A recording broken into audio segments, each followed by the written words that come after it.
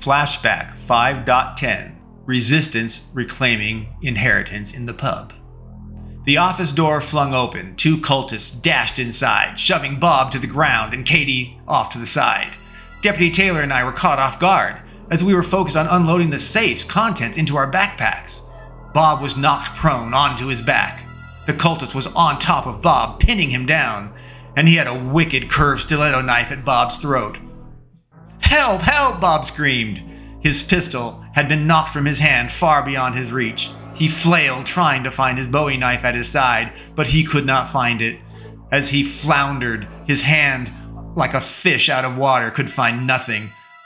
Bob was not in control.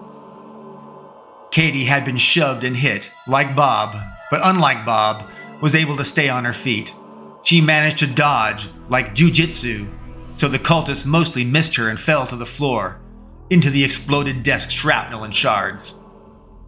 While Katie's cultist was recovering from falling into that shrapnel, she saw Bob about to be killed. God save me, forgive me, exclaimed Katie as she squeezed the trigger of her Walther 9mm pistol once. Pause. Twice. Three times. The cultist slumped, seemingly lifeless, with three bullet holes in his back.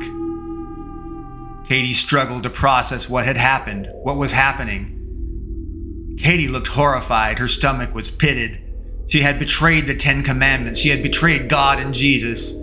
Katie, in that moment, wondered if she had fallen too far from God and her faith.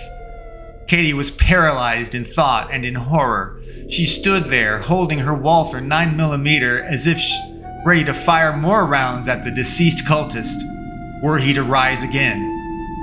Bob rolled to the side, freeing himself from the collapsed cultist, with blood flowing everywhere. He grabbed his dropped gun and he aimed it straight at the cultist that had fallen on the exploded desk.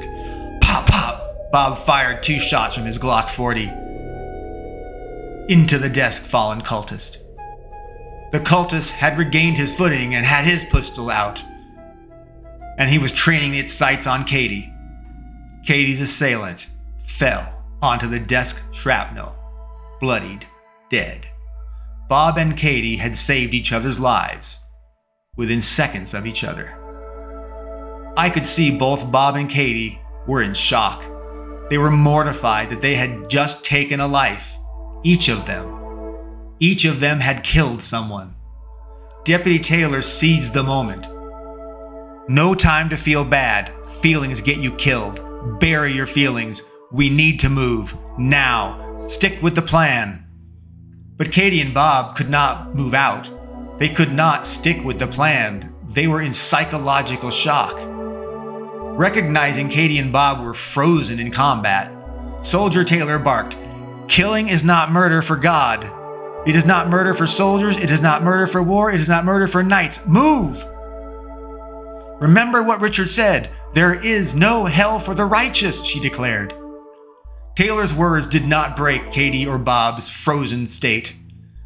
I ran up to them and grabbed Bob and pushed him towards the door. I grabbed Katie by the wrist and dragged her towards the door. Taylor moved in front of us and peered out the doorway. She said, All clear, move. Taylor growled and grumbled. Dang it! She grabbed Bob's arm with her left hand and held her Glock in her right hand. Let's go, Bob. You're with me. I got you, she reassured him. I copycatted Deputy's words for Katie. Katie, I got you. You're with me. Let's go.